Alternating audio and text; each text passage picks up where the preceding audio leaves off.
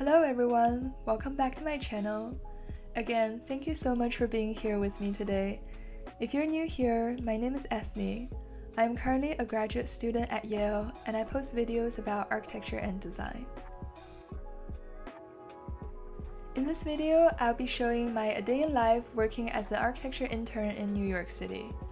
This will be relevant if you're interested in working in New York or if you're studying architecture and thinking about internships.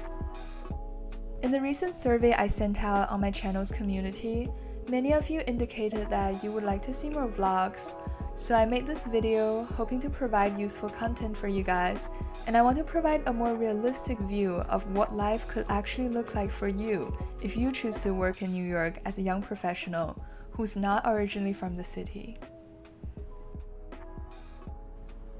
Since the actual work I do in my office would obviously be confidential, this video would show more of the life aspect of my internship.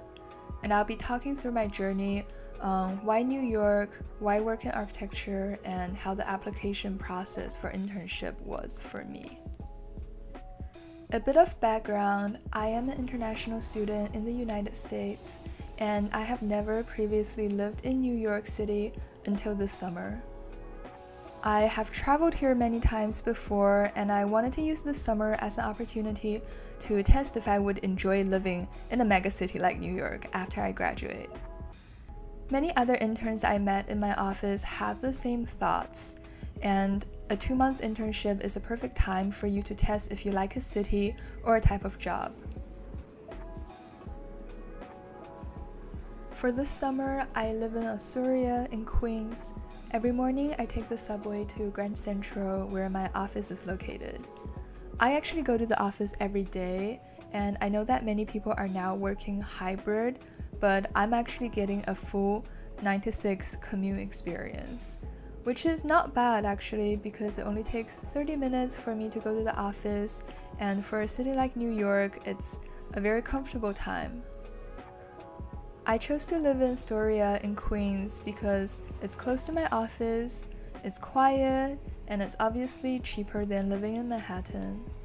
I wanted to pay a rent that can be comfortably covered by my internship salary and still make me feel financially independent and rewarded. After I get out of the subway station, I have a short walk through Bryant Park, and my office is on the 40th floor in a building adjacent to the park.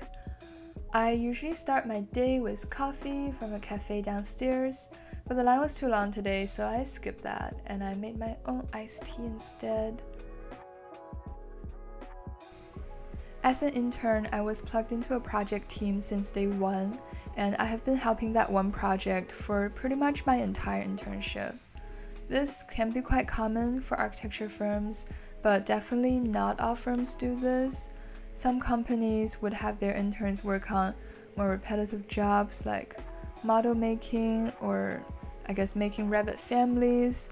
Um, the jobs given to juniors in different architecture firms can vary a lot. You really need to think about what your interest is before committing to a company, whether it's to design, to plan, to make physical model, or other types of digital work. Some people would prefer to meet with clients and participate in meetings, while some other people prefer to work in a quieter environment and refined design. I'm sure there are plenty of opportunities for each type of those jobs, and you just need to know what you want. And if you don't know and or you're unsure, a short internship again would be a nice time to test something out and see if you like it. Today at lunch, the office has a watercolor painting session. Many of my colleagues graduated from schools like Notre Dame, where hand drawing and like watercoloring was emphasized in their education. So they paint so well. Like, look at these. Um, we painted fruits and vegetables, and oh, yeah, our colleagues bought them from Whole Foods this morning. And we also had pizza together for lunch. It was a very soothing lunch break. After lunch, again, went back to work.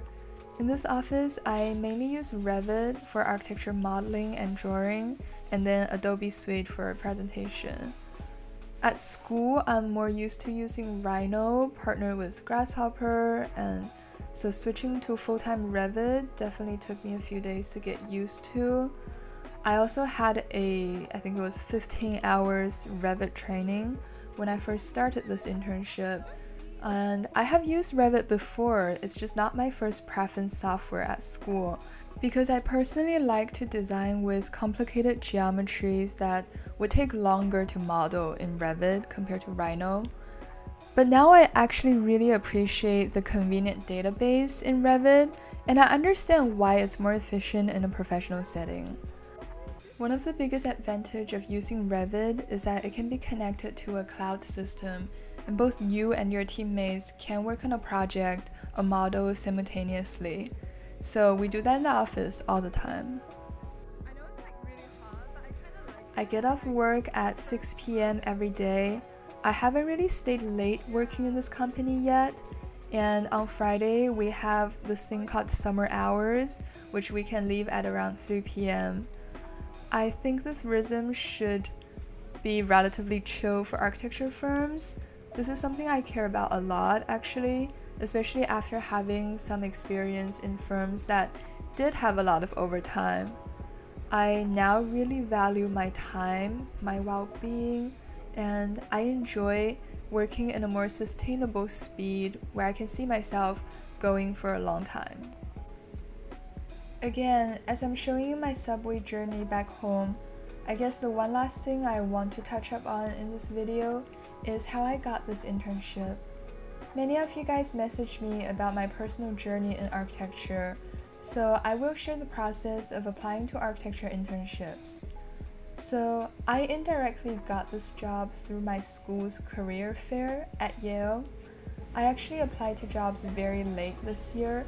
I applied in late April, early May for a job that starts in June, which is very last minute. I highly recommend you guys, especially if you're an international student in America like me, you should start looking way earlier, like in February or March. There are many ways to apply. I usually just write to the HR of the company, and their contacts are usually indicated on the company's website. I would write a brief letter explaining why I want to work there, avoid to be generic, and show my unique experience and my character. If you have friends, seniors, or alumni working in firms you like, you can reach out to them and ask about the firm's projects and culture before applying. I usually find that very helpful. And if you're invited to an interview, you can also ask to visit the office. It really is a two way choice. If you want to work in New York specifically, like me, it would also be helpful to study the area where your desired firms are located and brainstorm places you would like to live in. I feel like so much of this experience is about curating a lifestyle I like for the summer. I have colleagues from my office living in all five different boroughs of New York City, some even live in Connecticut. It really comes down to an individual choice whether you prioritize a busy life with lots of socializing, lots of going out, or if you enjoy somewhere quiet and live with your partner or family or by yourself. So, that was an average day of me interning in New York City. I hope you find this video somewhat helpful. I actually used a new microphone for this video so hopefully the sound quality is better.